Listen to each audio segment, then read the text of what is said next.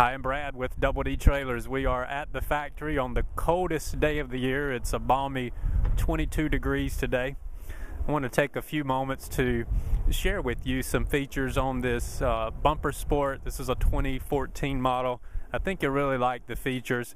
It's a custom color. The owner of this trailer, uh, she elected to go with the weight distribution system. You can go ahead and get a shot of that. And for those of you who are not familiar with a weight distribution, those are simply the brackets. But what it does is it will help get some of the tongue weight off of your tow vehicle once you purchase the hitch that goes along with your uh, your truck or SUV, and to keep your front tires planted firmly on the ground, get some of the weight off of the back and uh, just really helps with stability while you're driving. So we certainly recommend a weight distribution hitch depending on the type of tow vehicle that you have. I really like these couplers. They're one of the strongest that we could find. A standard seven way RV pin hookup that's going to be on all the trailers now and compatible with most any tow vehicle that you purchase. An emergency breakaway system, most of you are familiar with that, but just in case your trailer were to become uh, disconnected from your tow vehicle, this cable would just pull out and it'll actually actuate the brakes. I apologize for the noise in the background. It's very busy here at the plant. I love the cables versus the chain. Uh, years ago, we used to use a safety chain, and they would always drag and uh, just really make a mess. But the cable you can attach to your tow vehicle hitch, and you can see with this pigtail material, you don't have to worry about it dragging. So it always sort of coils itself back up. Aerodynamic V front. Um, this does have the 3M chemical bonding system. And uh, in simple terms, it's a 3M tape. You can Google that and learn more about it. But it's not really tape in the sense that it's sticky. When we pull it off the roll, it it's actually has very little tack to it. But the advantage is we don't have metal on top of metal. Uh, there's actually a foam barrier of tape behind this, and it really provides for a quiet ride for your horses. And it allows on days like today when it's freezing cold and metals actually expand and contract with temperature change, it can contract and move freely or independent of the structure that it's attached to, which is a really neat technology. Whereas if we had rivets, which a lot of manufacturers use, you really run the risk of water getting in your rivets. Uh, plus, you have metal on top of uh, metal, so it creates a lot of noise and vibration while you're traveling. And, uh, and the sheets will actually buckle because as the material expands and contracts, which we can't prevent from temperature, uh, it would actually warp. We call that sheet warp. No, no caulking or uh, or anything like that. It's certainly not necessary. The uh, the chemical bonding system acts as a water barrier, so no caulking is required, which I really like because caulking is just a dirt magnet. Makes something that else that you have to clean. Okay, as we move on, I really like this trailer. We've got a nice running board step. This is an aluminum step. One is on either side of this particular model. The customer elected to add these drop down windows. This is a, a straight load. And normally, uh, this window, I believe, is optional on this model. So uh, this was a, an extra feature. I apologize for the wind noise. This was an extra feature that was added, but we work with our, our window manufacturer, the latches used to be up high, so us height challenged or short people couldn't reach those and we worked with the manufacturer to lower that latch to a mid latch. And so now you can easily just take one hand open and close the window. If you'd like to travel with it in the in the down position you're certainly welcome to do that. The window will slide and the bar and the window fold independent of each other as you can see. You can just lay that window down, fold the bar uh, back up, or you could travel with just the window down itself or the glass portion. Lots of light, lots of space. We went ahead and did a tie loop on either side, one here and one here, and I think we may have a couple on the other side. A convenient grab handle, so if you want to step up inside and, and feed or groom your horse, you can certainly do that. Aluminum fenders, which I really like. Uh, unfortunately, over the years, as uh, the rubber fatigues and the elements wear down on the rubber itself, and it begins to just break down from uh, sunlight, from uh, temperature, uh, we do see some uh, some tires that will blow out, or if you run over something with a piece of uh, road debris or road hazard, and if that tire were to happen to blow out and the fender gets damaged, since it's aluminum, it's a fairly common fender, not too difficult to find, easy to source that part, and relatively inexpensive. Okay, if we move on around to the back of this trailer, this trailer normally comes uh, with a full height rear door. That means two doors, full height. This particular customer elected to add a ramp with a Dutch top door. And what that means is uh, we've just got the ramp at the bottom with the with the Dutch style door at the top, which will fold around. Again, I apologize for the uh, for the noise here. So if we open these doors up,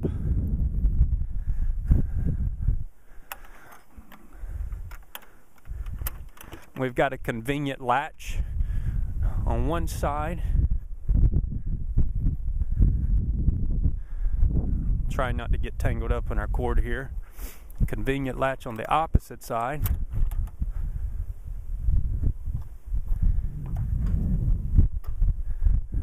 And I love these safety latches. Very easy, very neat to use. Uh, the ramp itself is lightweight, no problems whatsoever. I love the way that the ramp goes all the way down to the ground. And you can easily lift it with one hand or lower it back down. I always like to do what I call the foot test on a ramp. And the foot test is simply if I can take my foot and just lift it The last thing that we want my photographer today is my 17 year old daughter. So if the camera is really moving all around and shaking everywhere, uh, we'll just blame Brooke for it. But what I really like is for my daughter to be able to just easily pick this ramp up and down without any difficulty. I just love this trailer. I can't tell you enough. We have dual lights so that when the Yahoo behind you is texting and not paying attention two cars back, they can easily see that LED light. Hopefully, it'll get their attention and prevent someone from rear ending you and having that rear end collision. Uh, the switch on the back will operate your interior lights.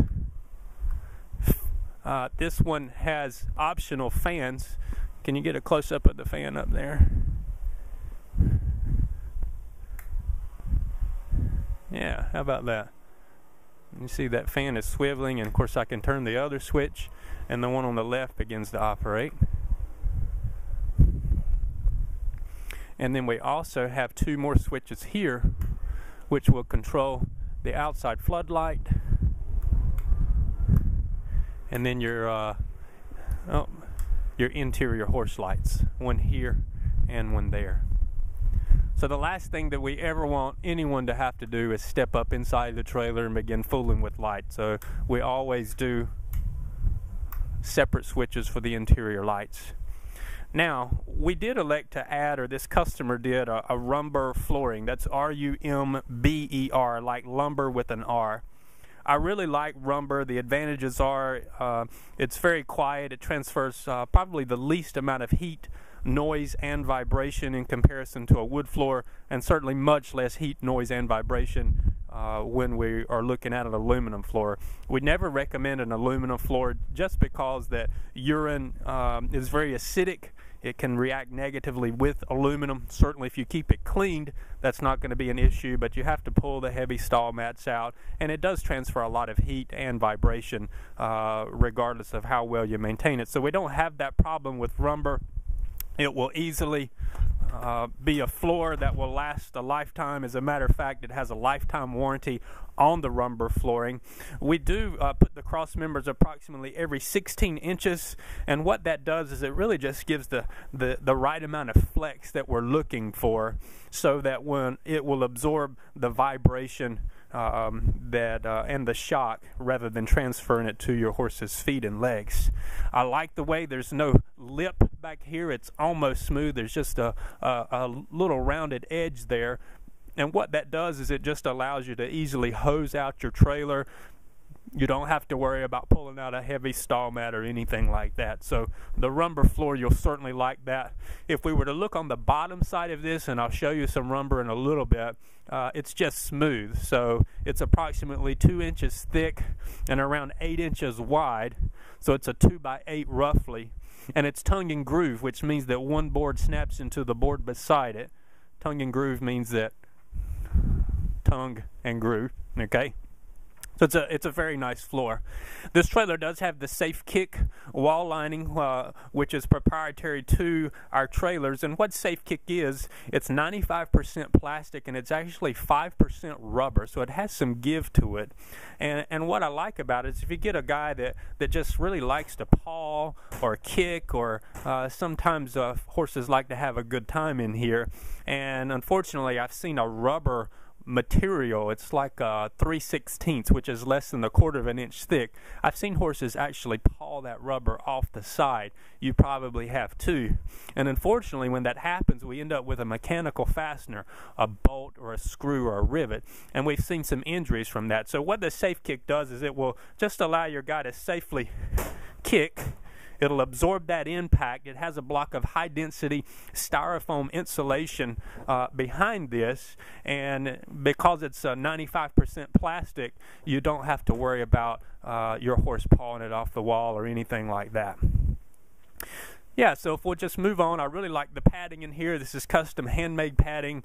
Uh, we use black padding. It just stays, it's easier to, to maintain and clean. We've used other colors over time and they seem to really get soiled, and the black is just uh, easy to maintain on your guys. This is the Galvalite product. It's actually a 16 gauge material, and Galvalite is basically galvanized metal that's made for painting, but it doesn't rust. And of course, the advantage is if you get a guy in here that spooks and he goes crazy and he tries to jump out of your trailer for whatever reason, and a horse paw comes up here. Unfortunately, uh, we've used aluminum in the past. We do use aluminum on the outside, but for the interior wall lining, which by the way is 100% insulated, all the walls in this trailer, even including the dress. But the interior wall lining is this Galvalite material, and, and the problem that we had with aluminum, because it's very malleable, it's very thin, we've actually seen horse hoofs or a leg that could go through that. You won't have this problem with the Galvalite, so you'll, you'll really like that. Now, because this is a straight load trailer, uh, we have a butt bar and a chest bar. You can see it's well padded, uh, easy design. The latches work very well. It's no problem at all to, to get these in and out. We did add a feed bag to this trailer. And of course, you can step up from the side and easily feed. These will lay down if you needed to do that. Three tie loops, and these are a lay flat loop, so we never have to worry about an injury to an eye. One here, one on the front, and then of course one up here as well. Your divider or swinging head partition, it'll actually pivot from side to side.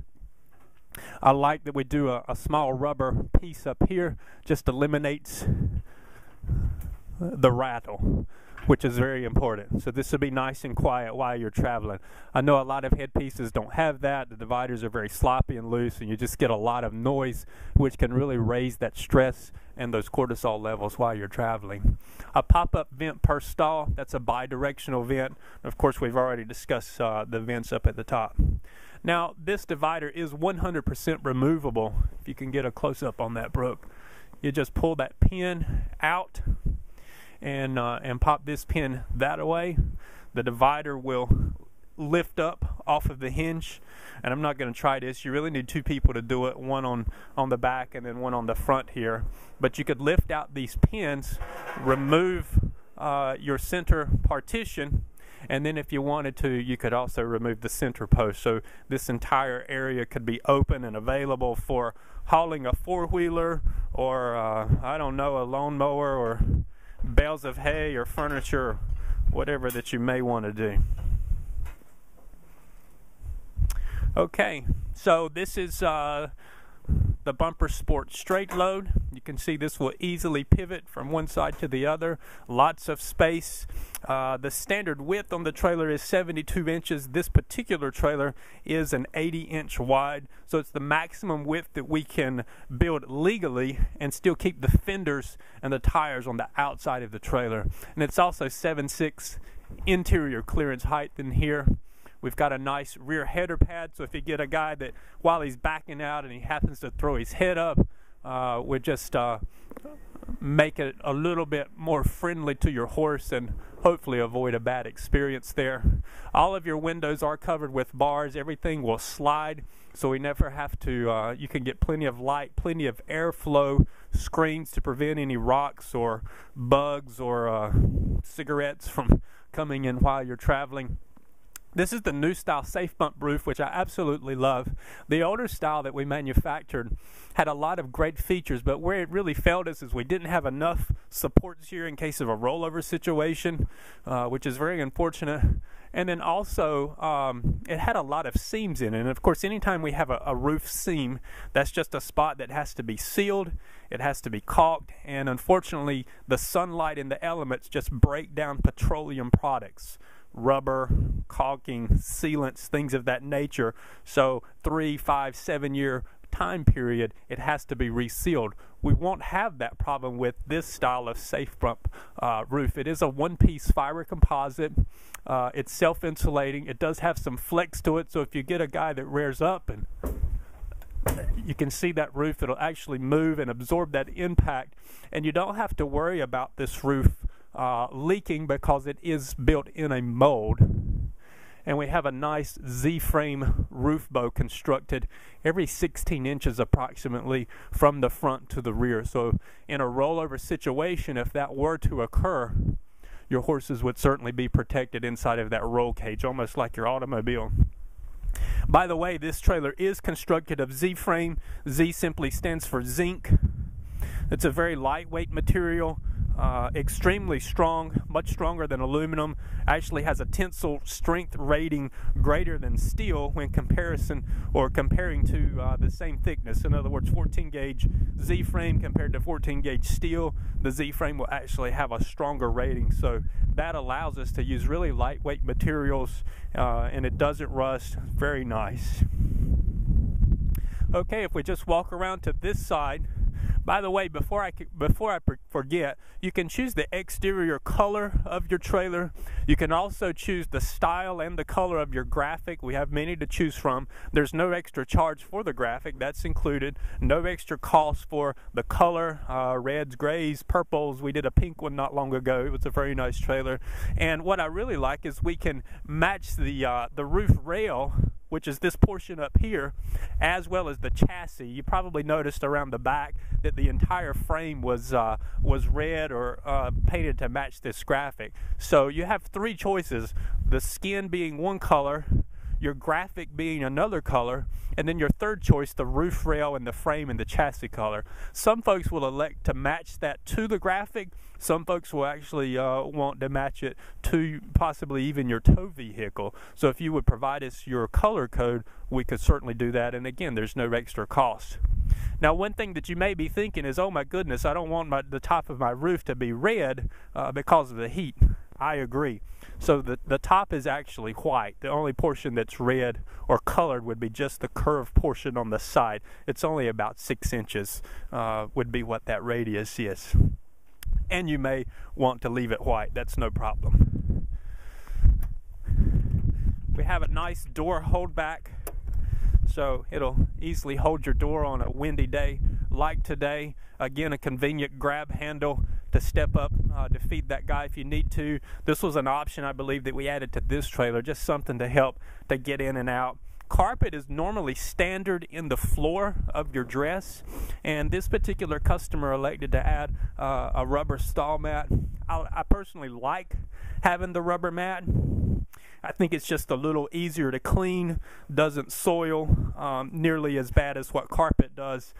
We we did elect to add on this trailer uh, an insulated bulkhead wall and carpeted. And what I like about that is you can add some bridle hangers in here, and it, and it, just keeps those hangers from clanking and, of course, scratching the paint while you're driving. So uh, it helps reduce the noise level to your horses and also just helps protect your trailer long term. Now, this customer did add the optional water tank, which I really like. I think this is a 30 gallon, used to be 25, but now a 30 gallon tank. It's just gravity feed, which means you would screw on any uh, conventional garden hose fitting here and you would buy your own hose. You could probably roll it up underneath here or perhaps add a, a hose holder right to the side. And you just turn this on to get the water out and perhaps water the horses. Now, again, this dressing room is insulated just like your horse area, as I mentioned earlier. These saddle racks, uh, I don't actually build these. They're they're manufactured by a company called Saddle Boss, which I really like. Uh, you may have seen these in other brands of trailers before, but what I like about the Saddle Boss is it's very lightweight, it's easy to handle, it's almost perfectly designed to fit the saddle. We never have to really worry about one sliding off or falling in the floor, and you can see with the way that we construct uh, this adjustable height portion, I just lifted that right off without any problem at all. And so I can move it up here oh, just as easily. And there's also a slot here.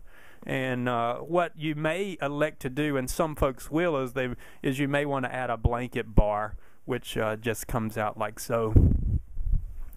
Now, years ago, we used to use a sliding window in the front, and the only problem with the sliding window is anytime that you're driving down the road it's pouring down rain, so you're running. It's like a 55 mile an hour wind or driving rain, and it could actually uh, depress or push in on the sliding portion and allow water to come in. This is a uh, this window doesn't actually slide, but it rolls in and out.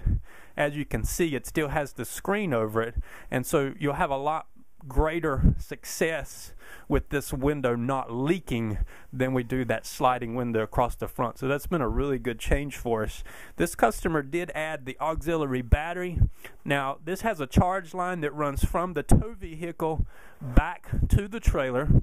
So that means as long as your tow vehicle is wired properly with the auxiliary circuit, it'll actually recharge the battery while you're driving. And once you walk inside of your trailer, we have this nice switch if you'll just get a good shot of that. It's very convenient so you can stand outside, just flip on the switch, and there's your overhead light. So you don't have to, while you're standing on the ground, try to reach up and grab this light. It's easy to reach inside, but standing outside from the ground, it's very difficult. So I like having that, that switch in there. Of course, this is the walk-through door from the front to the rear. One thing that I, I did fail to mention earlier is you'll notice the height of the floor, there's no lip here. And so when you're trying to keep this dressing area clean, it's very easy to do. You could just sweep it right out. I love that. And you'll notice the floor is actually at a higher elevation than what your trailer floor is. There's approximately five or six inches difference here. And the reason for that is just a it's something that we do as a benefit for our customers, for you guys, is to get this floor up so it's easier to, to clean and easier to maintain. And then plus on a living quarter trailer, we never have to worry about uh, manure or urine or, or water or anything running underneath that dress wall into your dressing room. It's the last thing we'd want to have happen. Most manufacturers actually build the wall or they put the floor in and they set the wall right on top of the floor because it's very easy to do and, and it costs less to do it that way. But uh, we do like to run the, your wall all the way to the chassis, which is a benefit for you. That way you have a separate floor in the horse area versus your dressing room. Okay, thanks for uh, taking your time and allowing me to share the features and some of the benefits perhaps on this uh, bumper sport trailer. You can learn more on our website at www.doubledtrailers.com. Thanks so much.